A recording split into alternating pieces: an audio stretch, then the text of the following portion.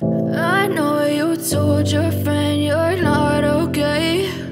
And tell me what's wrong and why you never said you felt that way. And guess you're trying to stay